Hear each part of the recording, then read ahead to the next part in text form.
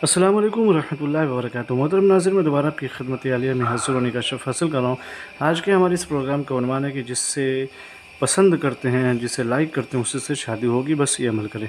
लेकिन इससे पहले कि इस अमल के बारे में आपकी खिदमत आली में कुछ अर्ज़ करूँ, गुजारिश करता हूँ कि मोहतरम नाजरन याद रखें, हमारे जितने भी अमल होते हैं, वो सिर्फ़ और सिर्फ़ जायज़ मकसद के लिए होते हैं।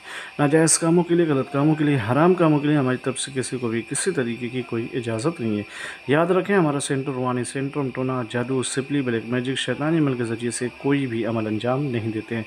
मोहतरम नाजरन, आप अगर किसी को लाइक करते हैं या किसी को पसंद करते हैं या फिर किसी से इश्क करते हैं या मोहब्बत करते हैं या प्यार करते हैं आप उसको अपनी ज़िंदगी में लाना चाहते हैं उसके साथ पूरी ज़िंदगी गुजारना चाहते हैं उसको अपनी शरीक हयात बनाना चाहते हैं तो उसके लिए इस तावीज़ मुबारक का इस्तेमाल करना होगा। करना क्या है? सबसे पहले तो बावजू हो जाए रुबा कबिला बैठ जाएँ या फिर चाहरकुल शरीफ पढ़ करके तीन दफ़ा अपने ऊपर दम कर लें अपना हिसार कर लें। फिर उसके बाद जवाल शम्स के बाद यानी जब सूरज बारह बज जाए उसके बाद जब जो लम्हा होता है उसको जवाल शम्स कहते हैं। उस कंडीशन में, उस वक्त और उस कैफियत में इसको लिखें और लिखने के बाद फ़लाँ बिन फ़लाँ की जगह उसका और उसकी माँ का नाम, अपना आप अपनी माँ का नाम लिख करके इस तावीज़ को अपने राइट बाजू यानी सीधे बाजू पर बाँध लें।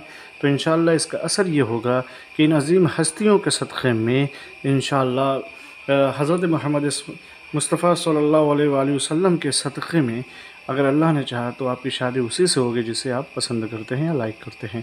लेकिन सिर्फ़ और सिर्फ़ जायज़ मकसद के लिए इसका इस्तेमाल करें। इजाज़त के लिए शर्त हो लगी कमेंट भिजा के या अल्लाह, या मोहम्मद लिख दे हमारी तरफ़ से। आपको इजाज़त मिल जाएगी, फिर मिलते हैं दूसरी नशिस्त में। तब तक लिए खुदा हाफिज़, अल्लाह हाफिज़। अल्लाम वरहमल वर्का